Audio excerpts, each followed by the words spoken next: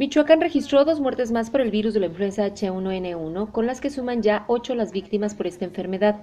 El director del Departamento de Epidemiología de la Secretaría de Salud, Fabio Silagua, informó que los fallecimientos se reportaron desde el pasado 1 de abril y se trata de dos hombres de 49 y 62 años de edad, respectivamente.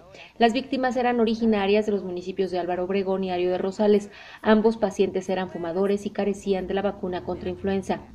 El funcionario estatal informó también del registro de un caso más de Zika en un joven de 19 años de edad, originario de la tenencia de Guacamayas en el municipio de Lázaro Cárdenas.